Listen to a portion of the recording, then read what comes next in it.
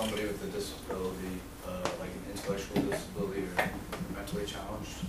Um, through Power Sport, the Special Olympics program, um, Special Olympics program helps to foster the acceptance and inclusion of all people, including children and adults with intellectual disabilities. The Mission of the Special Olympics program is to provide year-round sports training and athletic competition in a variety of Olympic-type um, activities.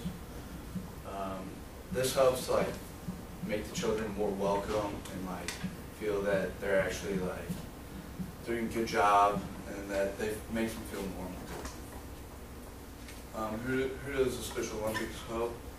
Um, Special Olympics in 2011, according to their recently updated webpage, uh, they held 50, like around 54 competitions last year, and they helped uh, one or 4 million athletes.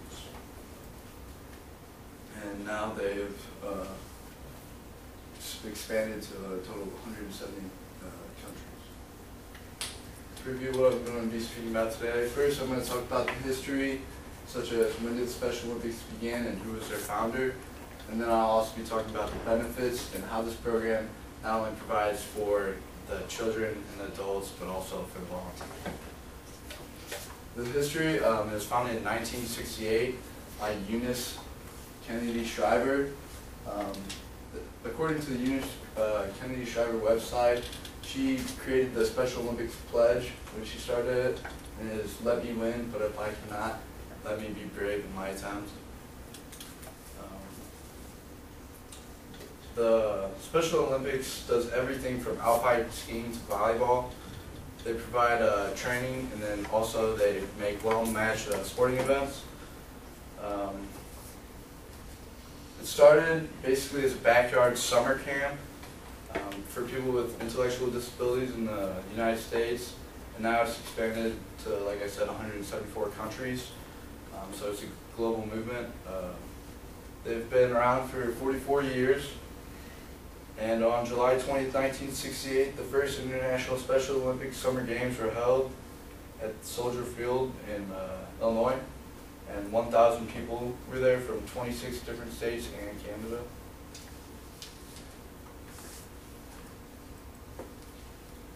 And according to the International Trademark Association, uh, in 1971, the U.S. Olympic Committee gave the Special Olympics official approval to use um, Olympics in their name, and they're only one out of two allowed to use that.